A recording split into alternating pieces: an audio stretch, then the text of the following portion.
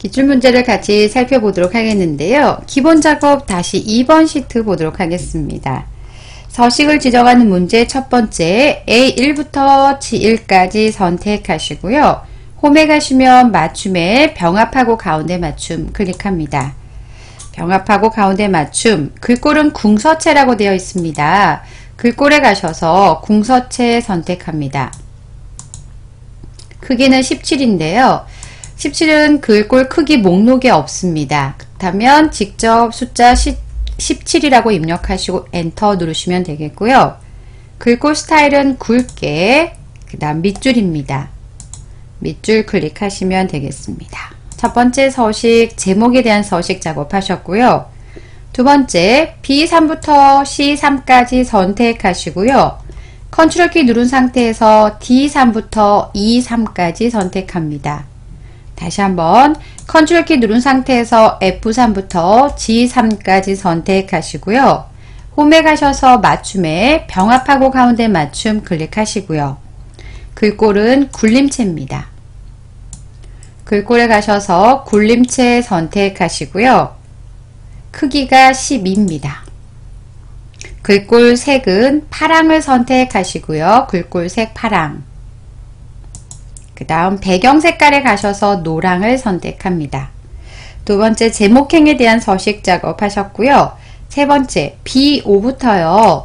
음, G10까지 선택하신 다음 사용자 지정 셀 서식을 이용해 숫자 뒤에 명이 추가되어 표시되도록 지정하시오 라고 되어 있습니다. 마우스 오른쪽 버튼 누르셔서요. 셀 서식에 가셔서 사용자 지정에 가셔서요.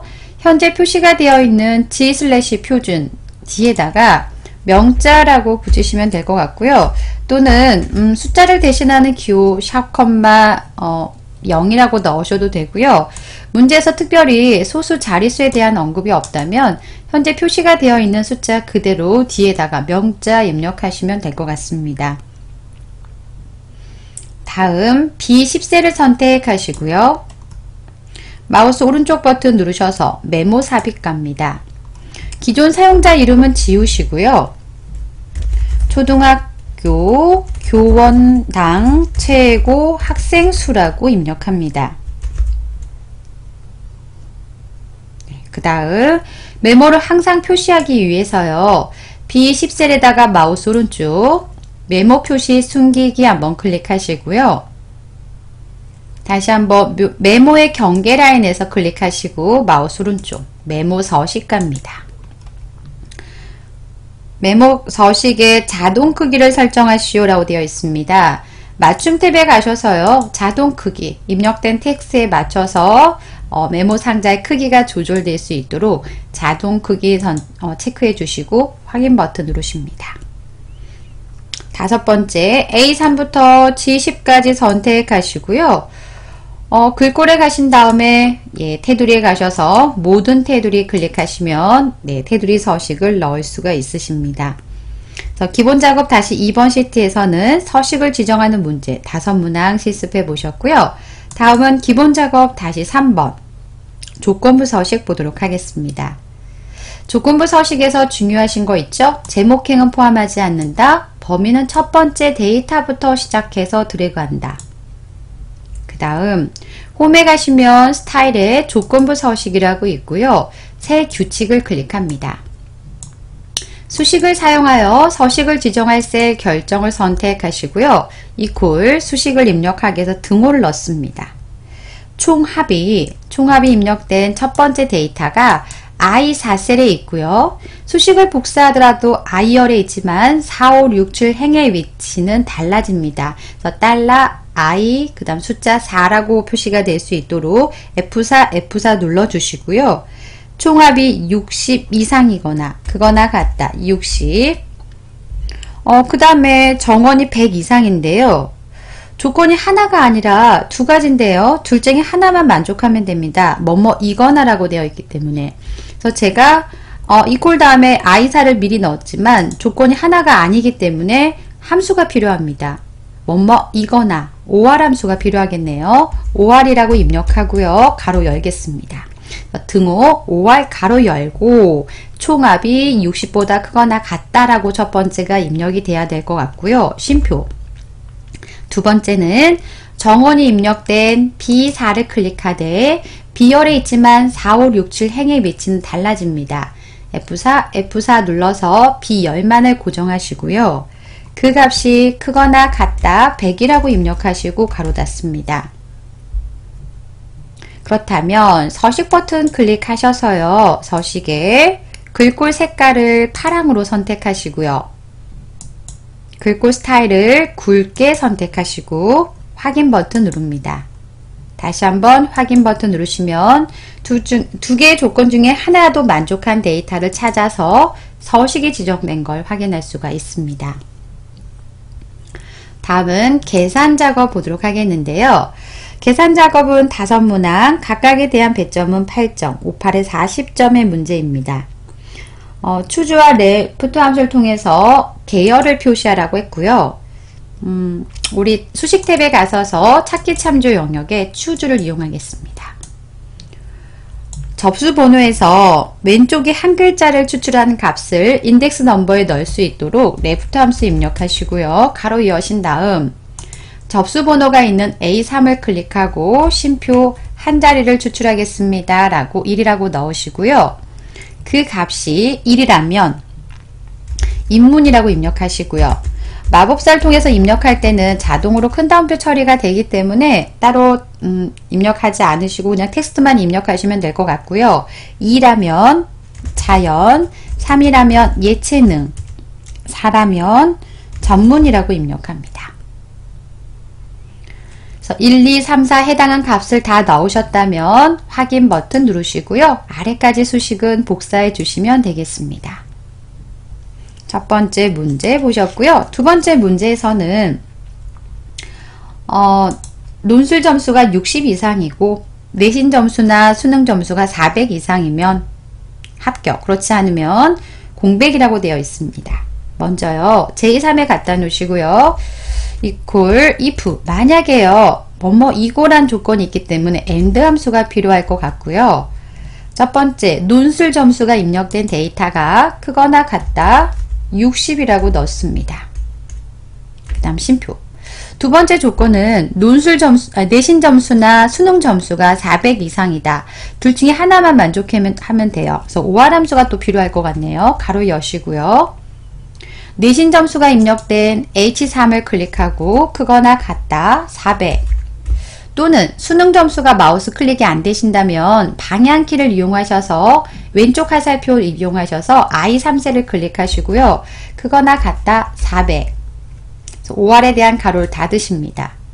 5R을 통해서 둘 중에 하나라도 400점 이상이라면 다시 논술 점수가 60점 이상일 때 ND에 대한 가로도 닫아주시고요. 이렇게 아래로 표시가 되면 좀 이해가 안 되시면 수식 입력줄을 통해서 마저 작성하겠습니다. 그래서 내신이나 수능 중에서 하나라도 400점 이상이고 그러면서 논술이 60점 이상이라면 우리는 뭐라고 표시할 거냐면 합격이라고 표시할 거고요. 큰 따옴표 처리하셔서 직접 마법사가 아니라 수식을 직접 입력할 때는 문자에 대한 큰 따옴표 처리를 직접 해주시고요. 나머지는 공백입니다. 큰 따옴표 열고 닫고가 공백 처리할 수 있죠. if에 대한 가로 닫고 엔터 눌러서 아래까지 수식은 복사하시면 되겠습니다. 세 번째 문제인데요. 음, 예금별 수익률 참조하셔서 아래쪽에 있는 수익률을 예, 아래쪽에 있는 수익률 참조하셔서 예금 종류에 따른 공제 금액을 구하시오. 단 예금별 수익률이 존재하지 않는 장마 연금 장기 주식이 있는데요. 장만데 이렇게 장미같이 이렇게 없는 데이터가 있습니다. 없는 경우에는 예금 종류 오류라고 표시하라고 되어 있습니다. 또 하나 공제 금액은 예금액 곱하기 이 수익률을 곱해서 표시합니다. 에러는 조금 이따 어, 입력을 하고요. D14셀에 갖다 놓으시고요.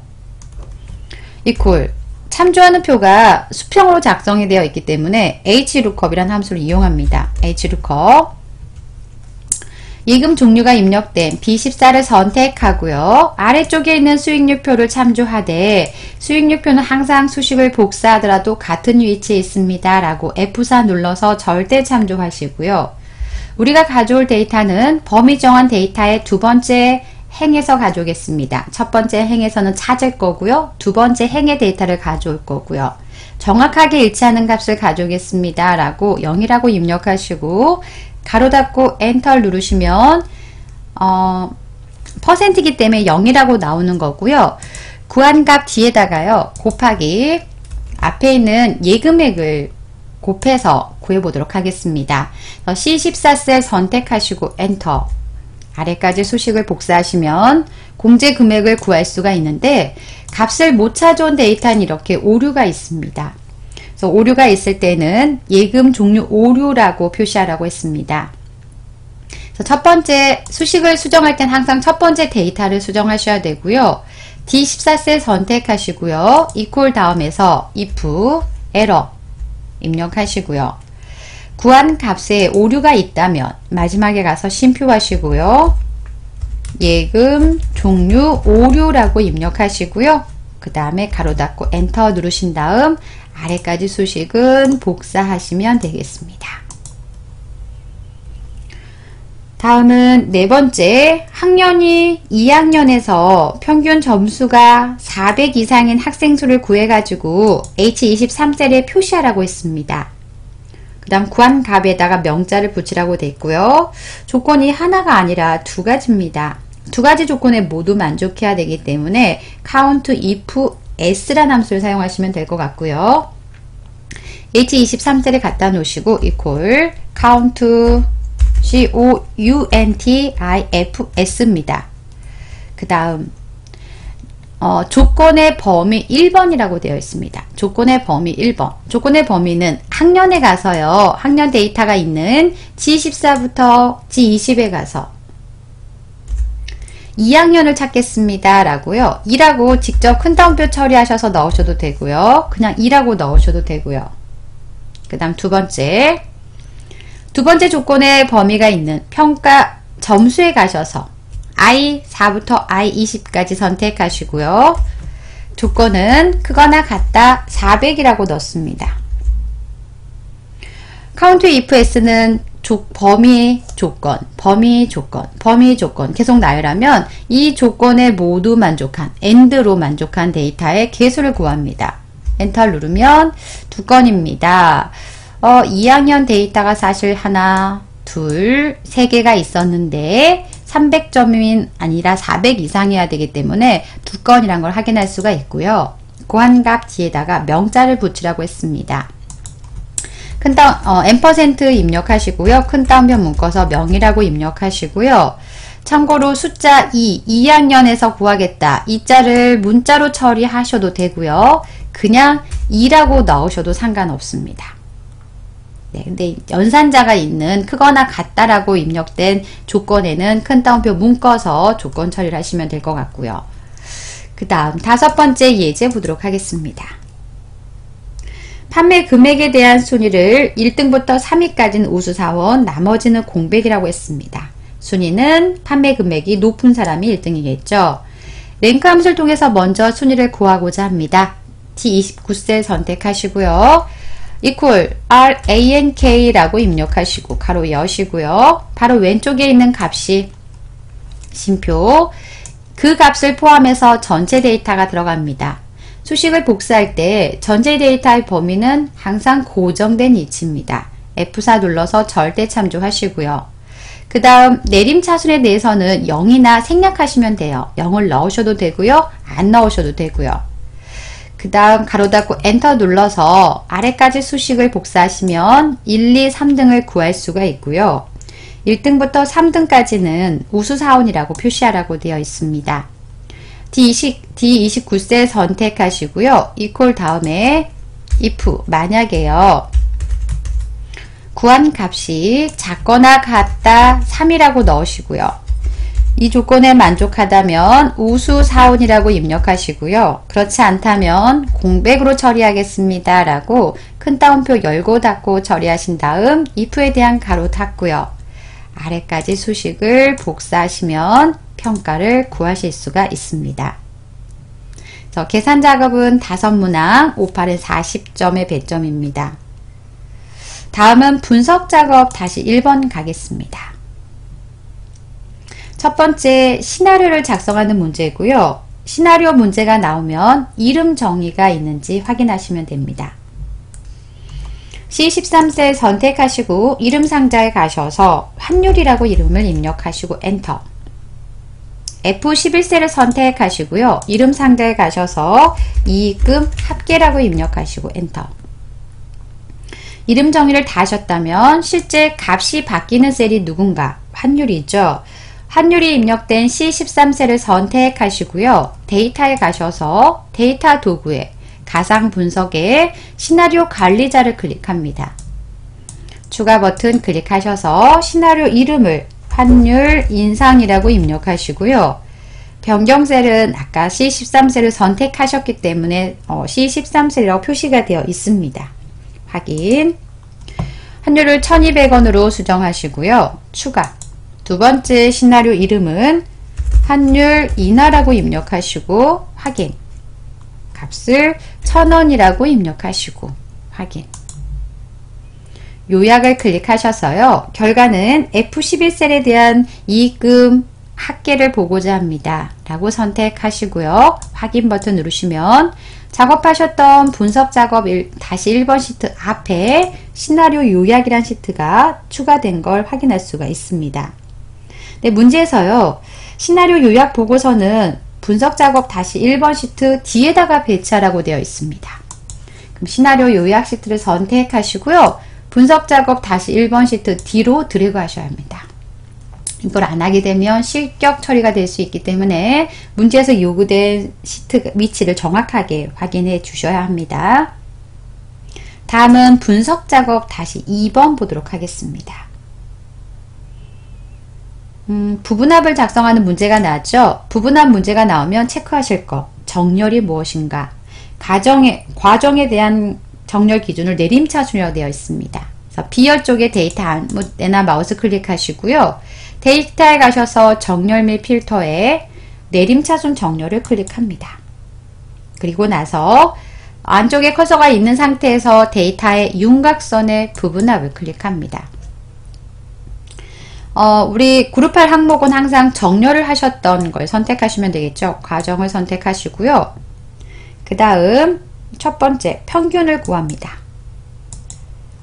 모집 인원과 수강료에 대한 평균을 구하겠다라고 체크하시고 확인. 다시 한번 부분합에 가셔서요. 최대값을 구하겠습니다. 라고 선택하시고요. 아까 구하셨던 평균도 나와야 되고 최대값도 나와야 되기 때문에 새로운 값으로 대치란 체크는 꼭 해제하시고 확인 버튼 누릅니다. 그래서 분석 작업은 이렇게 음, 시나리오 문제 10점, 그 다음 부분합 문제 나왔어요. 부분합 문제 10점에서 20점의 배점입니다. 다음 기타 작업, 매크로 작업하겠습니다. 매크로 작업을 하시기 전에 항상 비어있는 셀 클릭하시고요. 준비라는 글자 옆에 매크로 기록을 클릭합니다. 매크로 이름은 문제에서 합계라고 되어 있습니다. 합계를 선택하시고요. 확인. 그 다음 B14부터 I14 영역에 합격자 수의 합계를 구하라고 했습니다. 그래서 B14셀에 선택하시고요. 는 equal sum이라고 입력하신 다음에 가로 여시고요. B4부터 B13에 대한 데이터의 합계를 구하겠습니다. 라고 드래그 하시고요. 가로 닫고 엔터 780이라고 구해져 있는 값을 I14셀까지 드래그 하셔가지고요. 합계를 구합니다. 값을 다 구하셨다면 준비라는 글자 옆에 보시면 기록 중지란 도구가 있고요. 마우스 클릭하셔서 매크로 기록은 종료합니다. 다음은 조금 전에 기록하셨던 매크로를 실행할 수 있는 도형을 만들기 위해서 삽입에 가셔서 도형에 가셔서 사각형에 가시면 두 번째 모서리가 둥근 직사각형이 있습니다. 선택하시고요. 위치는 L4부터 M5까지 드래그합니다. 4, 5까지. 텍스트를 합계라고 입력하시고요. 다음 모서리가 둥근 사각형 선택하시고 마우스 오른쪽 이렇게 어, 이동 복사가 나온 거는 마우스 오른쪽 버튼 누르면서 약간 흔들려서 그런 겁니다. 다시 한번 선택하고 마우스 오른쪽 매크로 지정해 가셔서 합계를 선택하고 확인합니다. 두 번째 매크로 기록을 하기 위해서 비어있는 셀 선택하시고 네, 매크로 기록, 매크로 이름을 비율이라고 입력합니다. 다음 제2 4셀에 갖다 놓으시고요. 이퀄 가로 여시고요. 총합 나누기 정원 B4 I4 나누기 B4 가로 닫고 곱하기 100이라는 수식을 입력합니다. 구하신 값을 아래로 수식을 복사하셔서 예, 복사하신 다음 또 한 가지 음, 소수 이하 둘째 자리까지 표시하라고 했습니다. 현재 구한 값을 두 자리까지 표시하기 위해서 홈에 가시면 표시 형식에 소수 자릿수 늘림, 자릿수 늘림이란 도구가 있습니다. 한 번 클릭하면 한 자리, 한 번 더 클릭하면 두 자리까지 표시할 수 있고요. 이제 매크로 작업을 다 하셨다면 기록 중지 버튼 눌러서 매크로 기록은 종료합니다. 다음은 삽입에 가셔서 도형에 가셔서요. 도형을 십자형을 찾습니다. 기본 도형의 십자형. 위치는 L7부터 M8까지 드래그합니다. 텍스트를 비율이라고 입력하시고요. 도형의 경계란에서 마우스 오른쪽 매크로 지정에 비율을 선택하시고 확인합니다. 그래서 매크로 작업 두 개 다 작업하셨고 각각에 대한 배점은 5점씩에서 10점입니다. 다음은 차트 작업 보도록 하겠는데요. 주어진 차트에 대한 서식을 지정하는 문제입니다. 첫 번째, 차트의 종류를 표시기는 꺾은선형으로 바꾸라고 했습니다. 마우스 오른쪽 차트 종류 변경에 가셔서 꺾은 선형의 네 번째 선택하시고 확인. 그 다음 모건 스탠리 계열이 그림과 같이 차트에 표시되도록 수정하라고 했습니다. 방법은 해당 데이터 A5부터 E5까지 선택하시고요. 컨트롤 C 다음 차트를 선택하시고 컨트롤 V 하셔서 문제 요구한 데이터를 추가할 수가 있습니다. 두 번째 차트 제목입니다. 차트가 선택이 되어 있는 상태에 차트 도구의 레이아웃에 가셔서 차트 제목에 차트 위를 클릭합니다. 그 다음 차트 제목에 한국 성장률 위쪽에다 다시 입력하도록 하겠습니다. 한국 성장률 전망 및 실적이라고 입력하고 엔터 그 다음 차트 제목에 대한 서식이 마우스 오른쪽 버튼 누르셔서요. 미니 도구 모음을 이용하셔서 글꼴은 궁서체라고 되어 있습니다. 굵게는 기본적으로 되어 있고요. 글꼴 크기가 12라고 되어 있습니다. 다음 세로 값축 제목을 입력하라고 했는데요. 차트가 선택하시고요. 차트 도구의 레이아웃에 가셔서 축 제목에 기본 세로축 제목에 가로 제목으로 입력합니다. 그 다음 가로 열고요. 단위 퍼센트라고 입력하시고요. 가로 닫습니다. 그 다음 세로축의 단위를 예, 왼쪽에 있는 눈금을 선택하시고요. 마우, 세로축, 값축을 선택하시고 마우스 오른쪽 축 서식 주 단위에 가서 1이라고 되어 있는데 2로 수정하시고 닫기 누릅니다. 네 번째, UBS 빨간색, 붉은색 계열을 선택하시고요. 마우스 오른쪽, 음, 데이터 레이블 추가 한번 합니다.